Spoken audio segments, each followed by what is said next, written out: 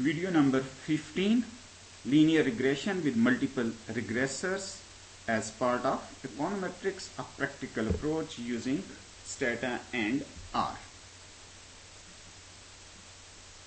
अभी तक हमने सिंपल लीनियर रिग्रेशन और उसकी टेस्टिंग की बात की कुछ टर्मिनोलॉजीज हमने देखी हम उन टर्म्स को थोड़ा सा फर्दर जो है वो अंडरस्टैंड करेंगे इसी चैप्टर में इससे अगले वाली वीडियोस में जो करंट वीडियो स्टार्ट हो रही हैं, उसमें जो एक इंतहाई इंपॉर्टेंट कॉन्सेप्ट है जिसपे इस वीडियो में बात हो रही है, वो है ओमिटेड वेरिएबल बायस एक और कॉन्सेप्ट जिसपे इस, इन वीडियोस में बात होगी linear regression with multiple regressors के टाइटल के अंडर वो है holding the effect of other variables constant causality और वो उसी तरह से कि जी adjusted R square measures of fit में, चूँकि there are more than one regressors no तो मल्टीपल एडजस्टेड आर स्क्वायर थोड़ी सी बात होगी मल्टीकोलिनियरिटी की। तो प्लीज़ आप इन वीडियोस को देखिए और इस चीज़ को समझने की कोशिश करें। सवाल हमारा वही है, क्या क्लास साइज़ कम करने से टेस्ट स्कोर बढ़ जाता है? हम इस सवाल का जवाब ढूँढने की कोशिश करते हैं। उस जवाब ढूँढने के सिलसिले में ही हम अपनी इकोनोमेट्रिक्स के ये डिफरेंट कॉन्सेप्ट्स को स्टडी करते रहेंगे। तो let's go with omitted variable bias omitted variable bias जो है बेसिकली क्या चीज़ है? हमने पिछली जो है वो चैप्टर में देखा, जब हमने अनबायसनेस की बात की तो वहाँ पे जो हमने इज़ हमारी फ़र्स्ट जम्पन थी expected value of u given x equal to zero कि u और x के दरमियान में कोई कोरिलेशन नहीं है। अब अगर कोई वेरिएबल ऐसा था, जो कि x से कोरिलेटेड था, लेकिन आपने उसको मॉडल में इंक्लूड नहीं किया तो इट मींस कि x और u में, वो u में चला गया। u आपके पास एक रैंडम पार्ट है। रैंडम पार्ट में कोई भी कोरिलेटेड चीज़ नहीं होनी चाहिए। अलोंग विद x तो इसलिए अब हम देखते हैं कि आपके पास ओमिटेड वेरिएबल बायस है क्या। तो ऐसा वेरिएबल, जो वाई वेरिएबल, जो आपका आउटकम वेरिएबल है, उसको अफेक्ट करे और जो वेरिएबल आपने राइट एंड साइड पे शामिल किया हुआ है एक्स उसके साथ वो कोरिलेटेड हो अगर आपने उसको मॉडल में नहीं डाला तो it will cause omitted variable bias अभी थोड़ी देर में मैं आपको दो कंडीशंस बताता हूँ फॉर ओमिटेड वेरिएबल बायस तो अगर आप उसको ओमिट कर देंगे तो आपका जो ओ एल एस एस्टिमेटर जो क्वेफिशियंट आया था, जैसे minus two point two eight आया था पिछले वाली वीडियोस में वो बेसिकली बायस्ड होगा अपवर्ड होगा डाउनवर्ड होगा, ये हम बाद में देखते हैं। तो लुक हियर दो कंडीशंस का सेटिस्फाई होना ज़रूरी है। अगर आपके पास एक वेरिएबल जो है, वो बेसिकली कोरिलेटेड है, यानी कि आपके पास y जो है equal to beta not plus beta one, x one, plus x two एक वेरिएबल था या जी एक वेरिएबल था। तो ये जी यहाँ पे इंक्लूड होना चाहिए था अगर ये जी वेरिएबल। अगर ये जी वेरिएबल एक्स वन से कोरलेट हुआ और ये जी वेरिएबल y को भी अफेक्ट करता है तो आपने अगर इसको नहीं डाला तो ये z कहाँ पे चला जाएगा? U में चला जाएगा। तो x1 और z कोरिलेटेड हैं। Z आपके पास u में है तो x और u आपके पास कोरिलेटेड हो जाएँगे। तो ये आपके पास O L S estimator unbiased नहीं रहेगा। तो ये दो कंडीशंस का होना ज़रूरी है for a variable to be included in the model कि एक, ये जो z वेरिएबल है इसको y का डिटर्मिनेंट होना चाहिए और इसको x के साथ कोरिलेटेड होना चाहिए। मैं हल्का सा पास ले रहा हूँ।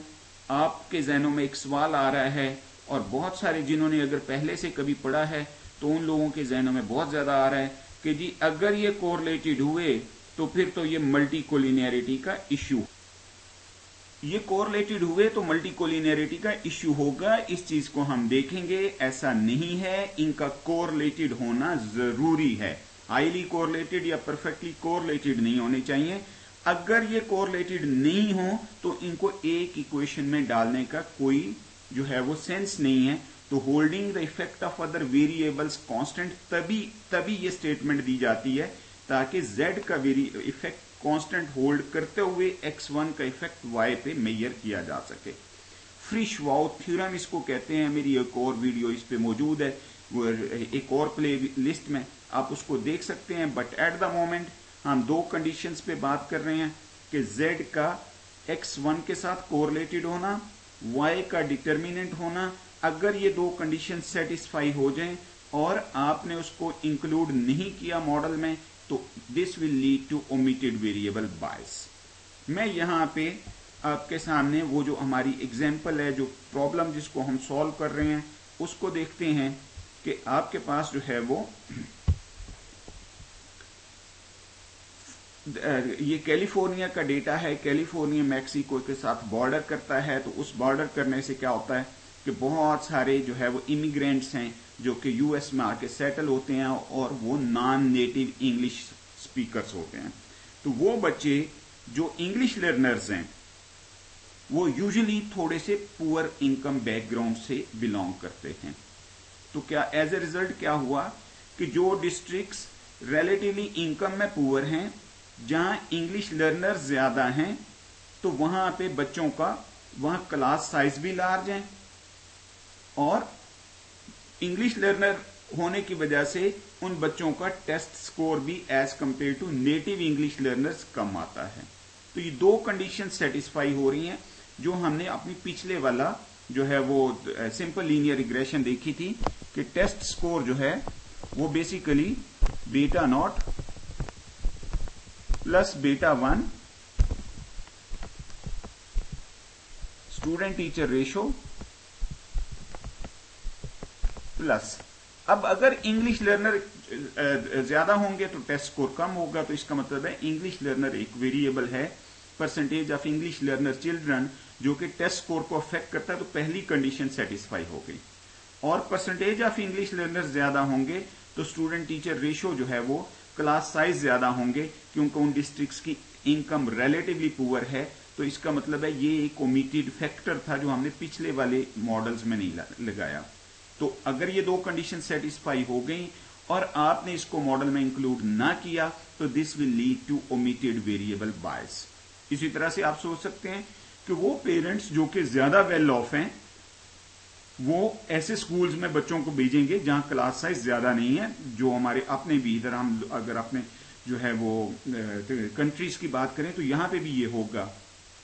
और वो बच्चों को शाम में ट्यूटरिंग भी दे देंगे। अगर वो फैक्टर्स टेस्ट स्कोर को भी इफ़ेक्ट करें और क्लास साइज़ से भी कोरिलेटेड हो तो ये दो कंडीशंस अगर सेटिस्फाई हो गई और आपने उनको मॉडल में शामिल ना किया तो इट मींस कि this is this will lead to omitted variable bias और जो आपका एस्टिमेट होगा, वो बेसिकली अगर आपने उन फैक्टर्स को इंक्लूड नहीं किया तो जो आपके रिजल्ट्स हैं, वो फ्लॉड होंगे। अब हम देखते हैं, दो दो दो कंडीशंस और लेते हैं।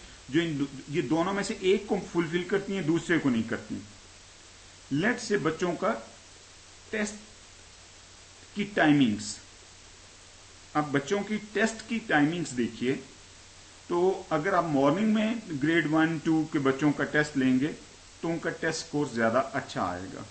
ये क्लास साइज़ को अफेक्ट ये टेस्ट स्कोर को तो अफेक्ट करता है, अगर हम यहाँ पे टाइमिंग की बात कर दें तो। बट टाइमिंग कुछ स्मॉल क्लास साइज़ के टेस्ट बाद में होते हैं, कुछ लार्ज के होते हैं तो इसलिए टाइमिंग जो है वो स्टूडेंट टीचर रेशियो से कोरिलेटेड नहीं है। तो एक कंडीशन सेटिस्फाई हुई, पहली कंडीशन जो पिछली स्लाइड में हमने मेंशन की थी, वो सेटिस्फाई हुई, लेकिन दूसरे वाली नहीं हुई। तो इसलिए ये ये ओमिटेड वेरिएबल बायस नहीं आएगी। दूसरी एग्जांपल लेते हैं। Parking lot available outside schools अगर क्लास साइज़ बड़े होंगे तो एक वेल ऑफ़ सोसाइटीज में तो कार तो हर बंदा रखता है तो वहाँ पे you need more car parking lots but car parking lots की बेस पे टेस्ट स्कोर को कुछ नहीं होने जा रहा तो यहाँ पे दूसरी कंडीशन सेटिस्फाई हुई, पहली नहीं हुई तो it will also not lead to omitted variable bias तो दो कंडीशंस बार बार मैं बात कर रहा हूँ, एक उसका आउटकम वेरिएबल या डिपेंडेंट वेरिएबल का डिटर्मिनेंट होना, और दूसरा उसका जो रिग्रेसर जो आपका ट्रीटमेंट थी, उसके साथ उसका कोरिलेटेड होना। ये दोनों बातें अगर फुलफिल होंगी तो आपके पास जो है वो ओमिटेड और आपने अगर उस वेरिएबल को शामिल नहीं किया तो it will lead to omitted variable bias मैं अगेन वॉर्न कर रहा हूँ, बहुत सारे दोस्त कंफ्यूज होते हैं कि जी, आप ये कह रहे हैं रिग्रेसर्स के दरमियान कोरिलेशन होना ज़रूरी है। यस यस एंड यस अब हाई कोरिलेशन या वो जो परफेक्ट कोरिलेशन या वो होना नो no. तो इसलिए अदरवाइज़ वो जो holding effect of other variables constant और वो सारा कुछ, उसकी कोई सेंस ही नहीं है।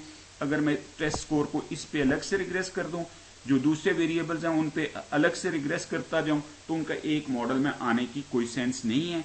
अगर आपको इस पे ज़्यादा देखना हो तो Frisch Waugh theorem technical mathematically आप देख सकते हैं। मैं देखूँगा अगर किसी जगह पे इसको एक्सप्लेन कर सकूँ। तो।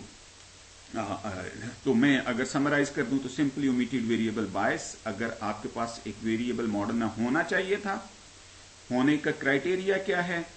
कि जी आपको वो वेरिएबल मॉडल में इंक्लूड करना चाहिए या नहीं करना चाहिए तो दो क्राइटेरिया एक वो डिपेंडेंट वेरिएबल का डिटर्मिनेंट हो और वो क्लास साइज़ वो जो आपके रिग्रेसर के साथ कोरिलेटेड हो अगर ये दोनों क्राइटेरिया फुलफिल होते हैं, आपने मॉडल में इंक्लूड नहीं किया तो this will lead to omitted variable bias ये ओमिटेड वेरिएबल बायस हमें पता है, हमने पिछले चैप्टर में ये चीज़ देखी थी तो अगर आप इसको देखिए तो ये बेसिकली अगर तो ये कोवेरियंस ज़ीरो हो गया तो इसका मतलब है एक्स और यू कोरिलेटेड नहीं है बट अगर ये ना हुआ रो एक्स यू मीन्स के आपके पास जो एक्स वन वेरिएबल था, वो एक्स टू वेरिएबल के साथ कोरिलेटेड था, लेकिन एक्स टू कहाँ पे है?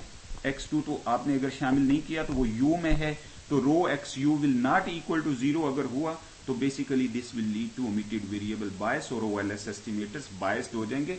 तो ये beta one hat beta one को अप्रोच नहीं करेगा, बल्कि साथ में ये फैक्टर आ जाएगा। तो this is this is biased factor तो ये इसकी डायमेंशन क्या होगी? वो डिपेंड करेगा कि रो एक्स यू अगर पॉजिटिव है तो ये जो है बेटा वन हैट अपवर्ड बायस्ड होगा। अगर नेगेटिव है तो बेटा वन हैट डाउनवर्ड बायस्ड होगा। तो ये बेसिकली हम देख रहे हैं। अब देखिए before I go for multiple linear regression model उससे पहले हमेशा डेटा को टेबल्स और ग्राफ की बेस पे एक्सप्लेन करने की कोशिश किया करें। ठीक है? बहुत सारे बहुत सारे रीनोड इकोनोमेट्रिशियंस इकोनॉमिस्ट जो है वो कहते हैं कि my first preference is tables and graphs even आपका जो डीटन है नोबल लॉरिएट है, उसका भी 2019 का पेपर देख लें। वो कहता है tables tables is my first choice but tables and graphs first choice में आपको एफर्ट ज़्यादा करनी पड़ती है। लेट्स मूव तो ये आप देखिए तो अगर आप सबको इकट्ठा मूव करें तो ये आपके पास 657 650 टेस्ट स्कोर आपके पास डिफरेंस आया 7.4 लेकिन अगर आप इसको ब्रेक डाउन करें कि परसेंटेज इनकी लर्नर्स लो हैं ये इसके दरमियान में इसमें है इसमें है तो ये नंबर ऑफ़ स्कूल्स जिनका ये ये स्कोर्स हैं तो आप देखिए तो जब आपके पास यहाँ पे परसेंटेज इंग्लिश लर्नर्स ज़्यादा हैं और क्लास साइज़ भी देखिए लार्ज है, और आपके पास यहाँ पे देखें, जब दोनों जगहों पे परसेंटेज इंग्लिश लर्नर्स लोअर थे तो उनका टेस्ट स्कोर डिफरेंस कम था। लेकिन यहाँ पे देखिए तो टेस्ट स्कोर ज़्यादा है इट मीन्स कि percentage English learners are also correlated with your class size और उससे आपका टेस्ट स्कोर भी इफ़ेक्ट हो रहा है तो वो दोनों कंडीशन सेटिस्फाई होती हैं। Causality regression and regression analysis इस पे मैं अगली वीडियो में बात करता हूँ क्योंकि इट्स गेटिंग वेरी लॉन्ग तो वो दोस्त जिनको नेट में प्रॉब्लम uh, होती है तो उनके लिए सुनना जरा मुश्किल हो जाता है। थैंक यू फॉर वॉचिंग इससे अगले वाली मेरी वीडियोज़ में holding other effect of other variables constant adjusted R square multicollinearity causality in concept को हम एक्सप्लेन करेंगे. Thank you for watching take care